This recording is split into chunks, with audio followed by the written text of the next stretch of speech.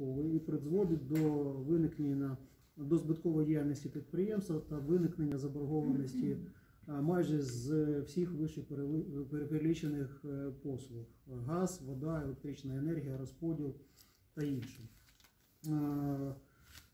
Це ж також стосується заробітної плати, яка за цей період е, мінімальна заробітна плата зростала декілька разів, і е, відповідно до законодавства підприємство повинно перерахувати усім своїм співробітникам, виходячи від мінімального рівня заробітної плати. Тому з метою запобігання виникнення заборгованості в цьому році підприємство вимушено було е, працювати на трьохдневці, на чотирьохдневці, е, на неповному робочому тижні. Е, Нами підготовлена досить детальна презентація, матеріали щодо е, діючого тарифа. Е, Однак вони мають досить, досить значний обсяг, і тому є пропозиція зробити виїзне засідання робочої групи Полтава Теплоенерго. Там є всі фахівці, є матеріали.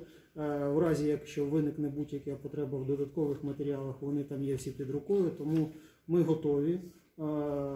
Очікуємо час, дату і готові все надати.